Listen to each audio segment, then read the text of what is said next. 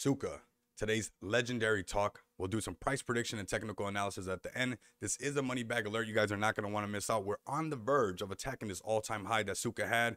But let's find out more about this Japanese dragon before we get to these price predictions and whatnot like that, right? So let's start off with their homepage and what they got to say about this Japanese lore destined the Japanese Tsuka dragon to breathe vast flames of wisdom and prosperity to all who embrace the ferocity and strength.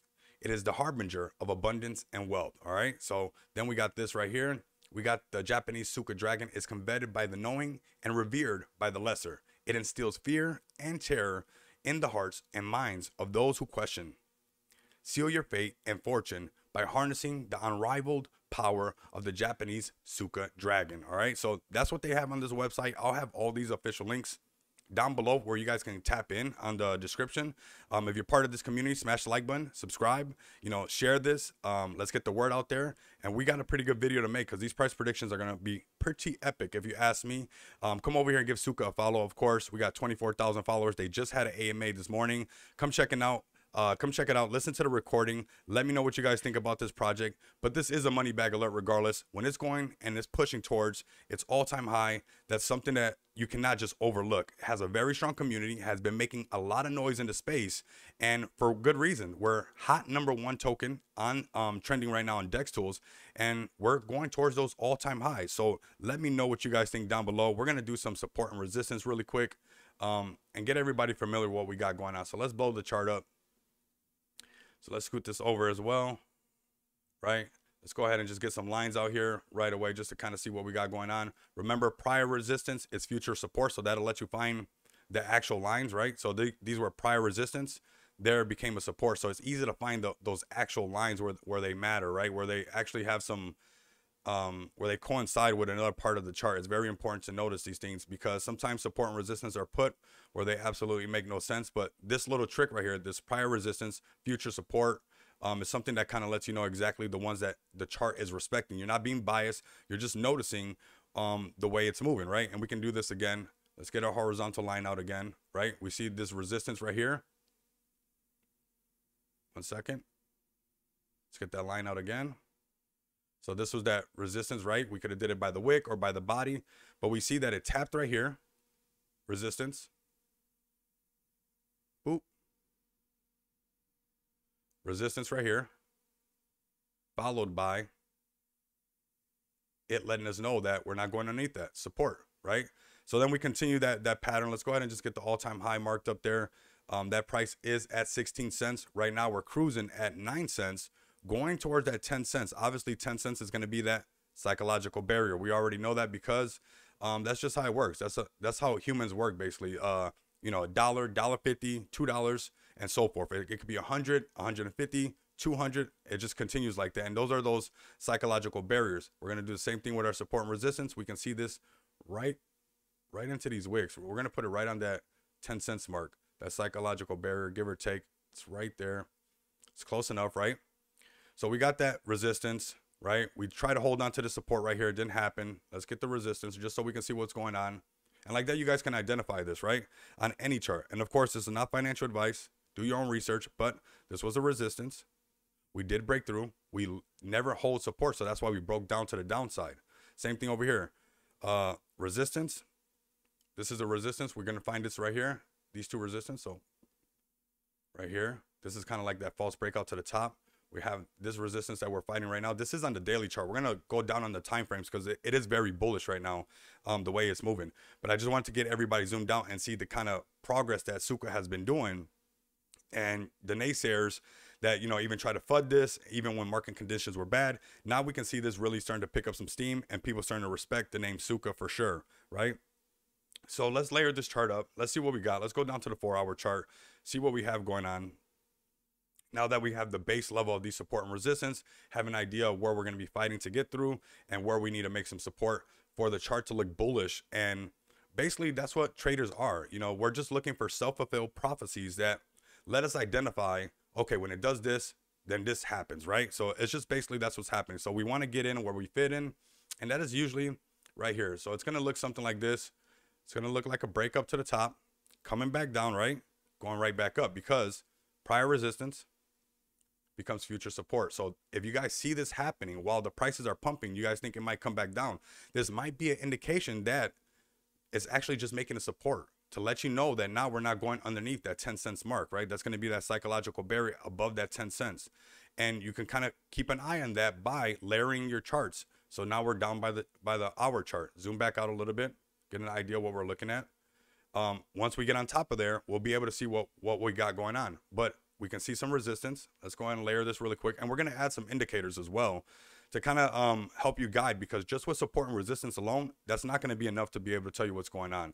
So we're going to keep layering this. We see it's bullish momentum overall. There's a lot of hype going on around Tsuka. The word is going out and about. So now let's add these indicators, right? Let's start with the SAR. Excuse me. We got the SAR. Then we're going to add the MACD. Okay, and we'll start off with these. These are these are good right here. Let's zoom in. Let's even go to auto just to get it all set up for us, right? Okay, now we can zoom in. So right now what we got on the 15 minute chart, we'll start back up a little bit higher. Let's start at the four, just like we did. We see that we got the MACD in our favor. We got the SA dart, the SAR dots on the bottom, meaning that we have bullish momentum to the upside, right? When the dots are on the top, the trend has reversed. And they always say the trend is your friend. We also have the MACD indicating the same thing almost at the same time when the dots have flipped, that we're going to have green candles. Dark green candles mean bullish momentum, buying pressure. Light green candles mean the buying pressure is getting weaker. Same thing with the red ones. Dark pre- uh, dark red means selling pressure is high. Light red means it is low. Okay. So right now we're gonna layer this chart and see what we got going on. When you see this pointing up like that, that little kink, that looks amazing right there. That is just epic. So now we're going to continue. So now on the hour chart, we're still looking bullish. We got the dots on the bottom, but I am noticing, I'm going to be transparent, that we got the dots starting to separate. Usually when the dots are very close, it lets us know that the trend is just starting and is very bullish. But when you start to see them separating, we can start to say that the momentum is starting to die out. But you want to coincide that with how the MACD is going about it as well, right? We want to see almost that light green candle to be like, okay, so it's actually doing that right now.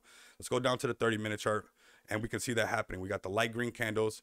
We got the dots starting to separate. They did flip at one point on the 30 minute chart, but the chart just reversed. Like I said, the more these words get out, the more you guys smash these like buttons, the more you guys subscribe and leave some bullish comments down below. That'll help the YouTube algorithm get these videos out. And on those tweets, the Twitter, I'm going to get a tweet out after this video.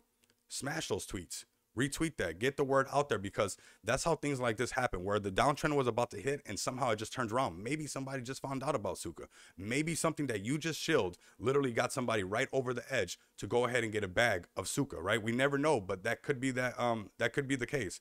So right now we're seeing this you know we're losing the buying pressure because we got light candles they're also getting smaller volume is getting smaller. This is the 15 minute candle or the 15 minute chart. We keep layering this. Now we got the dots on the top so this will let me know that potentially on this run, this is on the five minute, we're not going to break through this psychological barrier, that it's going to kind of reset and catch his breath. That's what I like to say, right? It's going to catch his breath. It might do it in a smaller channel up here, actually, like right around here. There might be a small channel where it consolidates right up in here on the five minute chart. I don't like to trade on the five minute chart, get in right there. It's a little bit harder, but we can see that there's potentially a, a, a little channel right here where we can build some momentum sideways trade in here to go break back towards the upside. Now, shilling the videos, shilling the tweets, um, being active in the Telegram is going to help things like that happen. Otherwise, I'll be honest, I would be looking for an entry anywhere in these ranges. So there's this one right here, which is at around uh, eight five cents, right? And then kind of looking down here where we've been making support for the longest. We it's already identified to us that it won't go underneath this area. So if anybody who buys in anytime you load up your bag, not financial advice, if you're doing your DCA, right? Sometimes people just do DCA whenever, when the price is going down. Uh, if they look at the chart right now, they do it later, whenever. No, let's do it when it matters, right? Let's do it on these levels right here. Let's do it on the support. This is a good DCA right here, right? Dollar cost average. We can see the price going down. We got that red candle right there. Like I said, I'll be more, I will feel a lot more safer if I did it somewhere in this area down here. So that's that seven cents and 2. So 7252 is the number. We have a range right here at the 887, 87. That could be an area, but to be safe, this is an area that Tsuka has been showing that it doesn't want to go underneath this no more. Obviously, there's going to be some false breakouts or whatnot like that. But overall, on the higher time frames, we've seen that it wants to hold on to that price point, right? We've seen that time and time again where it's proved that right here. It's hold, held, held, held, no matter what. And this is a, an important area for it to prove itself because these were this is prior resistance here, here, and low false breakouts and whatnot right there. So this is an area we're gonna keep an eye on. That 72, 52.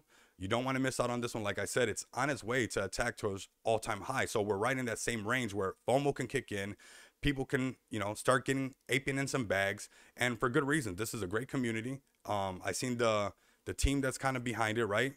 Um of course you know it is tied to ryoshi. We we heard the talks about that but the main people behind it some solid dudes. I like what i'm seeing and this really has some potential. So just keep an eye on these prices right here. Breaking past that that 10 cents is going to be that psychological barrier where it will send it to that last all-time high which is 16 cents which is kind of wild if you think about it because what if FOMO just starts kicking in really crazy? We see this at 50 cents. We see it at a dollar. You guys let me know what price you think Tsuka can reach down below in the comments. And if you guys can't do that, continue to come back and experience the abundance of money with me. Until next time, you guys know what it is. Later.